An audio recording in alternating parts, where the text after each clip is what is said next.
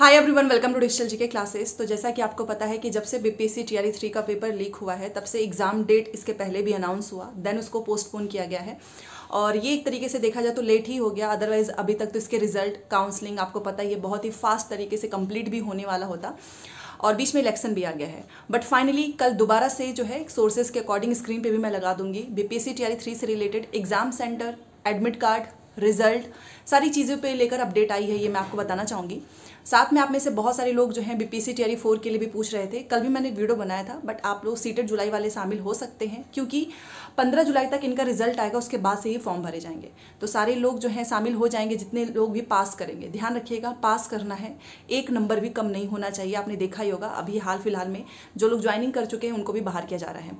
Seated S paper two जिसका भी होगा हिस्ट्री के नोट्स फोर्टी नाइन रुपीज़ में आपको मिल रहा है व्हाट्सअप कमेंट सेक्शन में मिल जाएगा व्हाट्सअप नंबर्स पे मैसेज करके आप ले सकते हो। सबसे पहले मैं बीपीएससी टीआई थ्री से रिलेटेड अपडेट जो है बताना चाहूँगी, उसके पहले एक चीज़ बस बोलना चाहूँगी कि देखो सीटेड जुलाई को हर हाल में पास करना, तभी आप TRE four and TRE five में शामिल हो पाएँगे। टीआरई थ्री तो चलो कंप्लीट ही हो जाएगा, क्योंकि इसकी तो डेट आई चुकी है बट टीआरई फोर के लिए सबसे ज़्यादा ज़रूरी है कि आपका सीटेड पास होना। और सॉल्व पेपर्स भी अगर आपको, आपके पास नहीं है, क्योंकि प्रीवियस क्वेश्चन हम यूट्यूब पे फ्री में कराते हैं बट सॉल्व पेपर्स आपको चाहिए होगा तो आप किरण पब्लिकेशन के ले सकते हो मार्केट में आ चुकी है।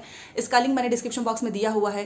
पेपर वन हो गया पेपर टू में आपका मैथ साइंस है या फिर सोशल साइंस है। पेपर वन में या फिर पेपर टू में अगर आपने संस्कृत लैंग्वेज रखा है, संस्कृत विषय तो भी इनके सॉल्व पेपर्स दो हज़ार ग्यारह से लेकर दो हज़ार चौबीस तक के सारे आ चुके हैं। थर्टी सेट है। डिटेल में एक्सप्लेनेशन मिलेगा। मतलब कि आराम से आप क्वेश्चन आंसर को समझ सकते हो एक्सप्लेनेशन के थ्रू तो आप इनके सॉल्व पेपर्स ले सकते हो। मैंने सब कुछ इसका लिंक दिया हुआ है डिस्क्रिप्शन बॉक्स में। देखो बीपीएससी टीआरई जो थ्री है, आपको पता ही है कि दस से बारह जून की डेट आगे हो चुकी है। यूपीएससी की परीक्षाएँ हैं और भी एक दो एग्ज़ाम है। अब ये आपका बीस से इक्कीस जून के बीच में होगा। इसकी इन्फॉर्मेशन आपको मिलेगी आपका यही इलेक्शन के जस्ट बाद सेकेंड वीक तक। क्योंकि चार जून को होगा इलेक्शन और बीच में सेंटर वगैरह भी नहीं क्लियर हो पा रहे हैं क्योंकि आपको पता है ये भी इलेक्शन चल रहा है, उस वजह से कुछ क्लियर नहीं हो सकता है। तो आपको जून के ही सेकेंड वीक में एडमिट कार्ड इसकी इन्फॉर्मेशन मिलेगी, साथ में सेंटर से रिलेटेड क्योंकि जिलों से सारे जो है सेंटर भेज दे मतलब उसकी इन्फॉर्मेशन आयोग को पहुँच जा, पहुँच जाएगी, उसके बाद से कोड वगैरह जारी होंगे। पता है कि पिछली बार जो एग्ज़ाम हुए थे तो एक दो सेंटर का भी सामने आया था कि जहाँ पर नकल कराए गए थे तो वो सेंटर इस बार नहीं होंगे। पच्चीस जिलों में सेंटर बनाए जा रहे हैं बट पूर्व का कोई भी सेंटर वहाँ पर एग्ज़ाम नहीं होना है। अच्छी चीज़ है बीपीएससी इस चीज़ को लेकर काफ़ी स्ट्रिक्ट है पेपर अच्छे से कराना है डिसिप्लिन मेंटेन होना चाहिए। नकल से रिलेटेड कोई भी ऐसी चीज़ जहाँ पर थोड़ी बहुत भी मिली थी, वहाँ पर सेंटर नहीं बनाया जा रहा है। कुल मिलाकर आपका एग्ज़ाम ट्रांसपेरेंसी के साथ अच्छे से कंप्लीट होना ही चाहिए और हम सबकी बस उम्मीद है कि इस बार का पेपर अच्छे से कंप्लीट हो जाए। तो दो तीन चीज़ें ध्यान रखिएगा, जितने लोग भी तैयारी कर रहे हैं उसके अकॉर्डिंग आप अपना पैटर्न, जो भी है टाइम टेबल उसको मैनेज कीजिए। आपका एग्ज़ाम बीस से इक्कीस जून के बीच में होना है। जून के सेकेंड वीक तक आपको जो है अपने एग्ज़ाम सेंटर साथ में एडमिट कार्ड इससे रिलेटेड सारे अपडेट मिल जाएँगे। लक्ष्य इन्होंने एक चीज़ निर्धारित की है कि हमको पंद्रह जुलाई तक ऊपर नीचे हो सकता है बट इन्होंने बोला है कि पंद्रह जुलाई तक रिज़ल्ट हमारा जारी करने का लक्ष्य है, क्योंकि अगस्त में पेपर है। तो पंद्रह जुलाई तक इनका रिज़ल्ट आएगा, उसके बाद से ही आई थिंक फॉर्म वगैरह भरे जाएँगे बीपीएससी टीआरई फोर का। तो अगस्त तक चलेगा ही। देखो, जो एग्ज़ाम की डेट आती है ना, वो ज़रूरी नहीं है कि, क्योंकि वहाँ पे ना चेंज हो सकते हैं, कि उसी डेट पे ही होगा।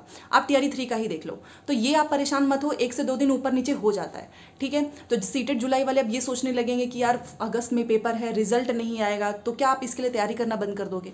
तैयारी तो आपको करनी ही होगी ना। और अगर मौका मिल जाता है तो फिर आप क्या बोलोगे कि, अरे, मैंने काश उस समय तैयारी कर ली होती।